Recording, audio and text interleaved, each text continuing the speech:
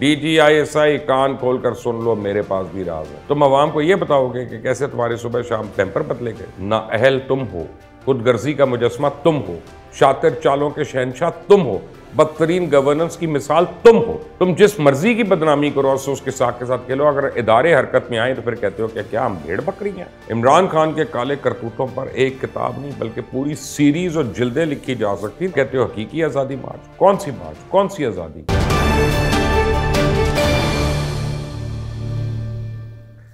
अस्सलाम वालेकुम ये हकीकी आज़ादी मार्च को देख के माउजतन की रूट अपने आप को कोस रही होगी। इसने इमरान खान की तरह इनकलाब क्यों नहीं बर्पा किया? क्यों इसने लाखों लोग अपने प्यारे रिश्तेदार और फैमिली को इस इनकलाब में मरवा दिया? जबकि इनकलाब तो एयर कंडीशन कंटेनर से बैठ कर भी आ सकता है। क्यों इसने हज़ारों मील का सफ़र किया और सड़कों पर रातें गुजारी, जबकि इनकलाब तो शाम को चार घंटे सड़क पे और सारी रात अपने घर में नरम बिस्तर पर सो कर भी आ सकता है। वह इनकलाब जिसमें सुबह के वक्त सौ बंदे भी नहीं होते, लेकिन शाम को अपने सारे काम काज करके वह इनकलाब शुरू कर लेते हैं। वह इनकलाब जो शादरा पर रात को रुकता है, लेकिन सुबह आँख खुलती है तो इनकलाब कामों की पहुँच चुका होता है। और वो लीडर जमान पार्क में नींद की सरगोशियों में मसरूफ़ होता है। वो इनकलाब जो लीडर और अवाम के बगैर कई सौ किलोमीटर का सफ़र खुद ही तय कर लेता है। अल्लाह ऐसा पुरसकून आसाइश वाला इनकलाब सारी दुनिया को नसीब फरमाए। लेकिन माउजतंग तुम कान खोल के सुन लो। तुम कभी भी हमारे कप्तान को नहीं पहुँच सकते। क्योंकि हमारे कप्तान के पास अरसलान बेटा है। हमारे कप्तान के पास सोशल मीडिया पे ऐसे मदारी मौजूद हैं, जो शाम होते ही इनकलाब में एक नई रूप फूंक देते हैं। और फूकेंगे? वो इनकलाब जो सुबह 11 बजे दम तोड़ चुका होता है, सोशल मीडिया के वेंटिलेटर पे शाम को हशाश बशाश होकर भागने लगता है। सोशल मीडिया पे जादूगर बैठ के लोगों को बताएँगे कि कैसे दुनिया की तारीख का सबसे बड़ा मार्च है। कैसे लाखों नहीं, करोड़ों लोग कंटेनर के टायरों से चिपके हुए हैं।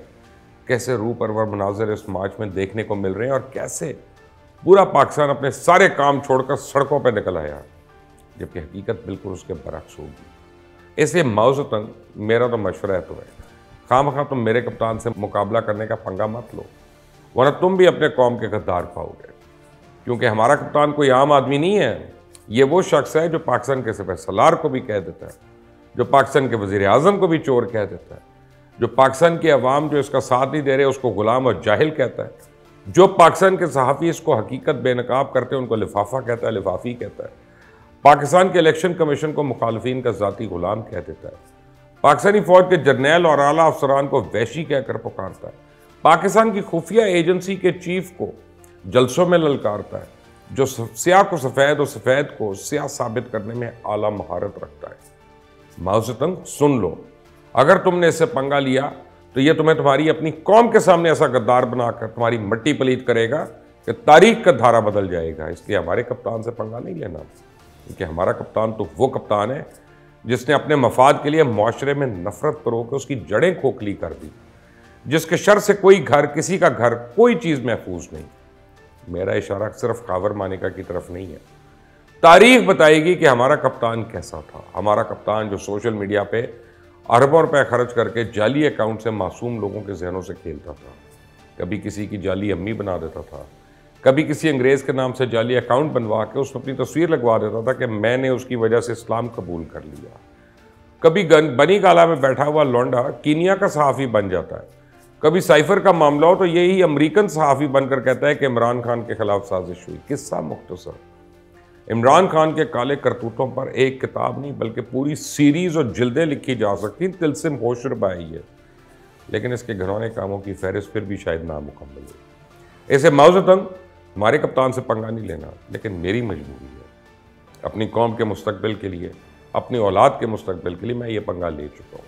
इसे आज की इस वीडियो में इमरान खान का असली चेहरा बेनकाब करूँगा। ये एक हकीकत है कि लॉन्ग मार्च, रॉन्ग मार्च, खूनी मार्च और हकीकी आज़ादी मार्च इस वक्त मुल्क सालमियत के लिए बहुत बड़ा खतरा बन चुकी है और एक बड़ा सहनिया रोनमा होने का इंतज़ार कर रहे हैं।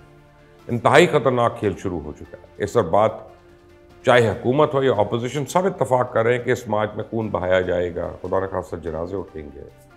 और इसके लिए खेल तैयार हो चुका है, जबकि इस खेल के कुछ किरदारों की फ़ोन कॉल्स ही मंजर आम पे आ चुकी हैं।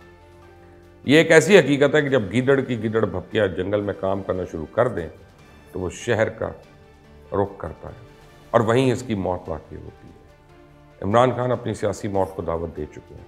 इनके झूठ, फ्रॉड, धोखेबाजी सर चढ़ कर बोल रही है और बोले भी क्यों ना? मुनाफ्त की चादर ओढ़ी हुई है। मुसलसल नौजवान असर को गुमराह कर रहा है। उनकी महरूमियों से खेल रहा है और इस बात में कोई शक नहीं है कि पाकिस्तान की सियासी अशराफिया ने अवाम को बहुत मायूस किया। उनकी करप्शन की कहानियों ने अवाम को बड़ा दुखी किया। इनके माफियाज ने अवाम को बुरी तरह महरूम किया और इमरान खान खुद तो जो कुछ नहीं कर सके, उस माफिया का हिस्सा बनकर इकतदार में आए अब खुद ही उनकी महरूमियों से खूब खेल रहे हैं। नाराज़ लोगों के दिल की बात कर रहे हैं लेकिन हकीकत कुछ और है। मिसाल के तौर पे इमरान खान की मुनाफ्त देखें कि लोगों के जज्बात को भड़काने के लिए कहता है D G I S I कान खोल कर सुन लो, मेरे पास भी राज है। मैं कहता हूँ, इमरान खान, तुमने ना पहले शर्म की, ना तुम अब करोगे, क्योंकि जो चीज़ हो ही ना, वो तुम काम कैसे करोगे? क्या बताओगे तुम आवाम को? मैं बता देता हूँ। तुम आवाम को ये बताओगे कि कैसे तुम्हारे सुबह शाम पैम्पर बदले गए? कैसे तुम्हें मकबूल और फिर काबिल कबूल किया गया? कैसे तुमने इकतदार के लिए सही और गलत का फ़र्क ख़त्म किया गया? कैसे तुम्हें इलेक्टेबल्स जो हैं, जागीरदार, वडेरे, सनतकार ला ला के तुम्हारी झोली में डाले गए? कैसे तुम्हारी ख्वाहिश पर तुम्हारे सियासी मुखालफी को नाहल करके तुम्हारे लिए मैदान साफ़ किया गया, चटियल किया गया? कैसे इन लोगों की पकड़ दकड़ की गई जो तुम्हें पसंद नहीं थे? कैसे लोगों पर जाली ड्रग केसेस डलवाए गए? इमरान खान, तुम्हारे पास बताने को है क्या? तुम ये बताओगे कि कैसे अक्सरियत ना होने के बावजूद चेयरमैन सेनेट मुंतखब हुआ?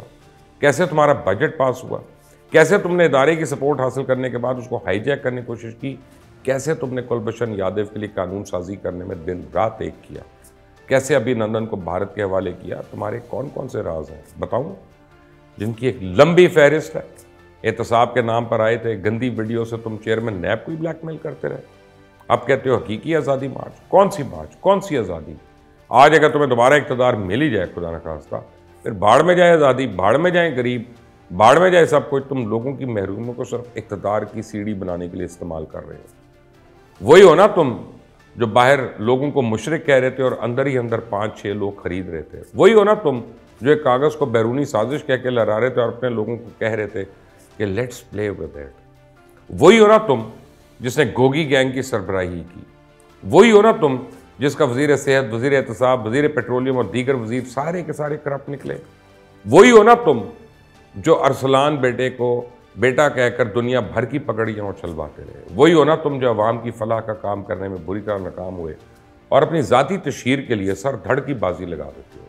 ना तुम्हारा माजी अच्छा ना तुम्हारा हाल मुस्तबिल की तो खबर नहीं है। झूठ की बुनियाद पर जाली नेक बनने से कोई आदमी नेक नहीं हो जाता। हिटलर के नक्शे कदम पर चलते हुए पाकिस्तान में भी अपनी जमात बिल्कुल उसी फार्मूले पे चला रहे हो फाशिस्ट पार्टी के फार्मूले पे। लोगों की नफ्सियात से खेल रहे हो और ये बात साबित हो चुकी है कि झूठ और मफाद परस्ती में इमरान खान को कोई टक्कर नहीं दे सकता। कोई इसका सानी नहीं है। जैसा ही अपने मोहसनों को काट कर फेंकता है, इसमें भी कोई इसका सानी नहीं है। बात मफाद परस्ती और सियासी कलाबाजी की की जाए तो इसमें भी इमरान खान का कोई सानी नहीं।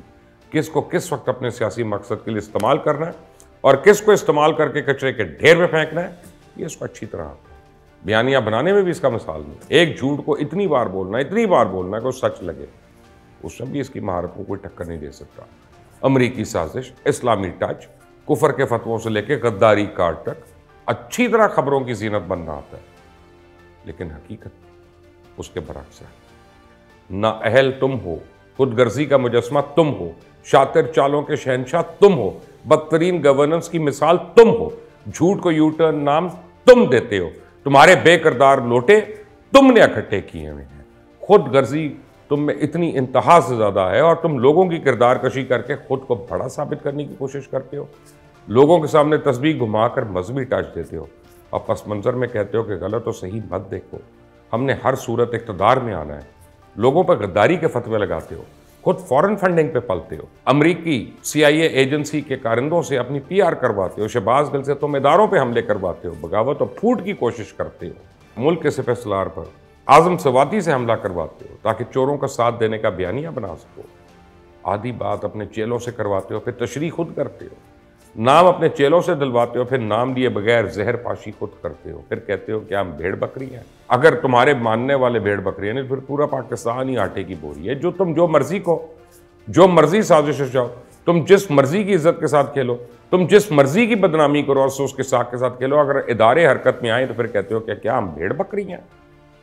मज़े की बात यह है कि जब भी किसी पर कोई इल्ज़ाम लगाए तो समझ जाए पस मंज़र में यही खेल खेला जा रहा है। साइफर पर मुल्की सालमियत के साथ खेल की गद्दारी की और अपने मुखालफी पर गद्दारी का इल्ज़ाम लगा दिया। खुद हॉर्स ट्रेडिंग को खरीदो फरोख करता रहा, जो ऑडियो लीक में साबित हुआ। दूसरों को मुशरक होने के और 25-25 करोड़ के इल्ज़ाम लगाता रहा। कहता था, शरीफ और भुट्टो ख़ानदान ने कौम को जहनी गुलाम बना लिया। लेकिन हकीकत यह है कि इमरान खान ने एक बड़े तबके को अपना जहनी गुलाम बनाया हुआ है। और इनके सामने जब इमरान खान आता है तो सारी मन तक लॉजिक दलील, अकल शूर सख्ते के आलम में चलने हैं। आज तक के लिए इतना ही आइंदा तक के लिए इजाज़त है अल्लाह